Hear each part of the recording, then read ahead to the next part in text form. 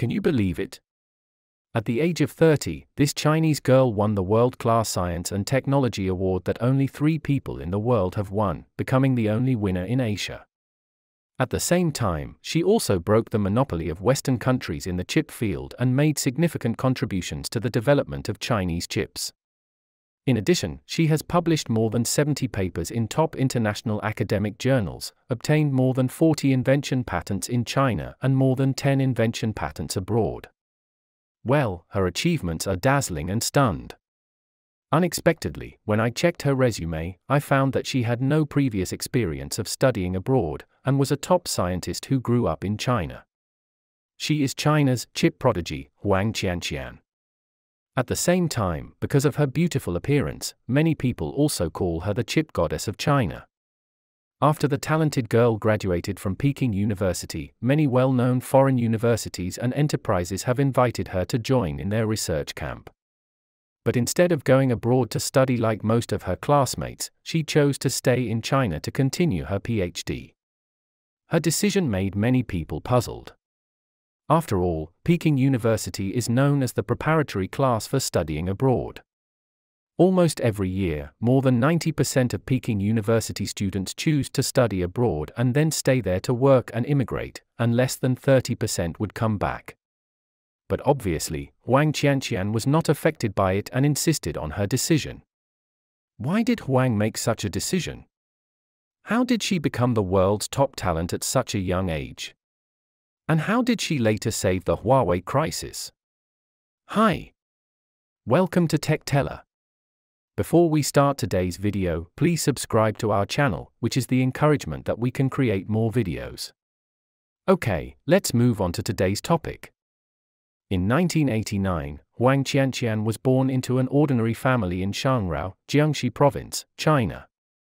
Although the parents belong to the ordinary working class, they have never neglected a good education for their daughters. In 2006, she was admitted to Peking University majoring in microelectronics with a high score. It was also during the period of studying here that the idea of in depth research in the field of chips was born. Her diligent and self improvement character from a young age, coupled with her love of learning, made her stand out among her classmates quickly during her studies at Peking University. Soon, she joined the research group of academician Huang Aiyu and devoted herself to the research of ultra-low power micronano electronic devices. At the age of 22, she published an academic paper in IEDM as the first author. I think you must know IEDM, International Electron Devices Meeting, and it enjoys the highest academic status in the international semiconductor technology industry and someone called it the Olympic event in the field of microelectronic devices, and its average paper collection rate is only 15%. If the paper can be published on it, which means that it will have a major impact and breakthrough in the field of global integrated circuit technology. It is also her who has refreshed the minimum age for authors of IEDM papers in China. This young Chinese female scientist shocked the world. Later, she published more than 50 world class papers on several world class academic platforms, and this achievement has been achieved less than 10 years. In addition, in IEDM, it was published in five papers as the first author, and the record of scientists in mainland China was refreshed again. Again, she shocked the whole world. In 2015, Huang Qianqian graduated from Peking University with a master's degree.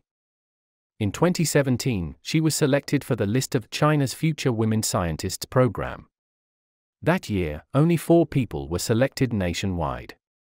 Later, she also returned to her alma mater and became a young doctoral supervisor. She was only 28 years old that year.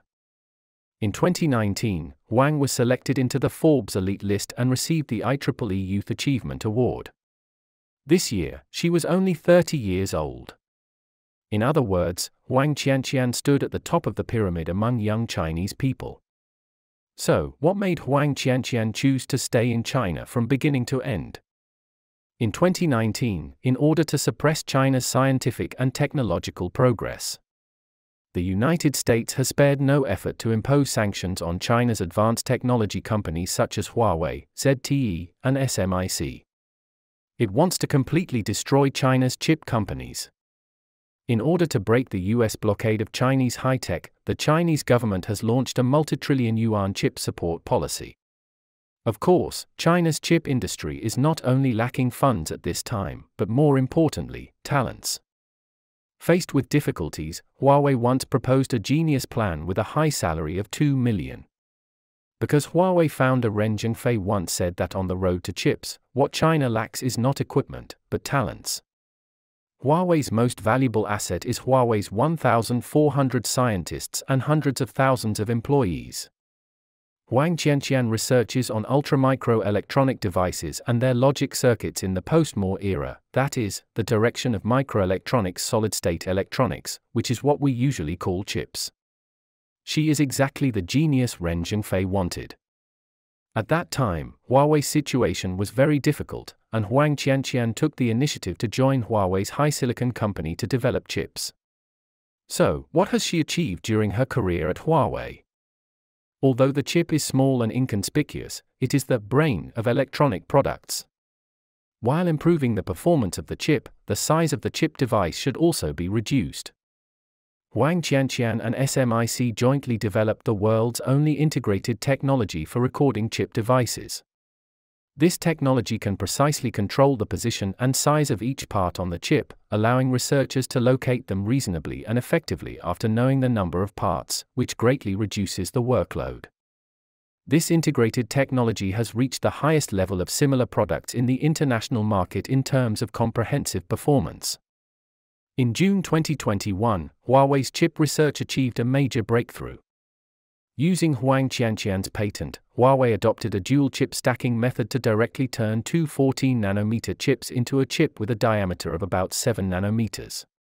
This process does not require a lithography machine at all.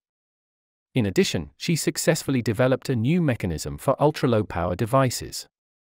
This invention not only breaks the swing record of silicon based tunneling devices, but also far exceeds the performance of similar devices at home and abroad.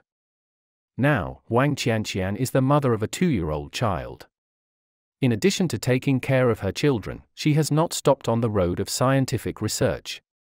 She is still preparing new papers and researching the future progress of Chinese chips. Huang Qianqian is still active in the research and development career she loves. We expect her to make more achievements and make positive contributions to China breaking the Western monopoly on chips. To this day, China has not broken the blockade and monopoly of the West on China in the chip industry, but the emergence of outstanding young Chinese scientists such as Huang has given the hope. It is their tireless efforts that have led to the rapid development of China's chip field. Huang Qianqian has said, Science has no borders, but scientists have a motherland in their hearts. Okay, the above is the story of the Chinese chip goddess, what do you think about it? Okay, that's all for today. Please put your comments below and share your insightful ideas. Please keep following our channel and like our videos. I am Tech Teller, the person to tell you the opinions that worth spreading every day. Thank you so much for your continuous support. Your precious time with us is highly appreciated. See you.